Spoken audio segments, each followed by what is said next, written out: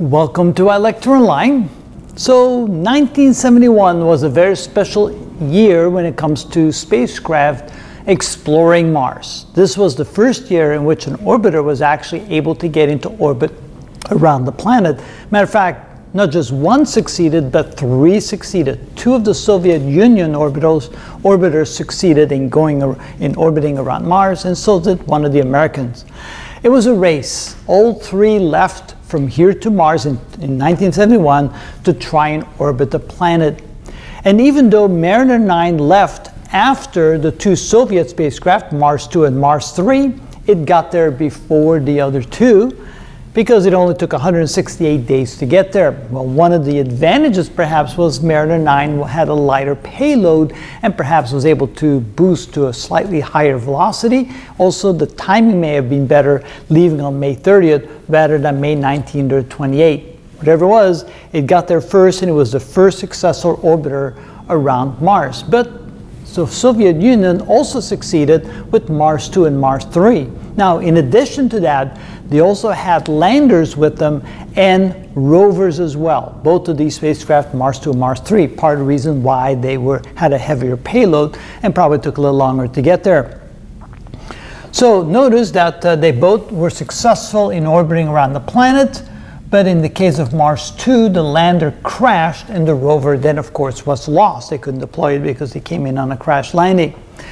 On the other one, Mars 3, orbiter was successful. The lander had partial success, meaning it landed, it started sending messages, uh, and it lasted, the messages landed, or actually the transmission, not the messages, but the transmission lasted for about 20 seconds.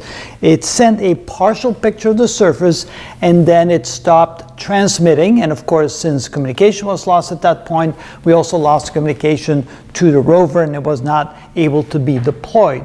So they were very successful in getting a spacecraft to actually land on the surface, but not as much landing and then doing its job. Once it got there, uh, perhaps it came in a little too hard at too high a speed and wasn't able to absorb the impact, and therefore damage caused the transmission to be lost. Notice that uh, Mars 2 st uh, started out uh, just on the heels of Kosmos 419, which was nine days earlier, but that one didn't leave Earth's orbit. The booster timing was incorrect, probably couldn't get up to high enough speed if it was just a partial burn, and wasn't able to get away from the gravitational force of the Earth. And then before Mar Mariner 9 was sent on the 30th of May, 21 days earlier, Mariner 8 was sent, but it failed to achieve Earth orbit. It wasn't able to get to Earth orbit. Something went wrong during the launch period, and uh, it didn't even get around in the orbit around the Earth. So at least Mariner 9 was successful in getting there, and Mariner 8 wasn't able to get uh, even started on the trip to Mars. Notice the orbiters of Mars 2 lasted for 362 orbits, which was great. Mars 3 only lasted for 20 orbits, and Mariner 9 lasted for a total of 509, uh, 516 days. At that point, there was enough information that had been gathered. No more additional information could be gathered at that point, so they ended up shutting the mission down. But I don't know how many orbits that is, but definitely probably well over a thousand orbits around Mars. It depends upon the altitude of the orbit. I, am not uh, at this moment familiar with how high up the orbit was. I'll have to go look it up. But uh, definitely it uh, was a raving success and they received as much data as their instruments could have given them during that 516 day period.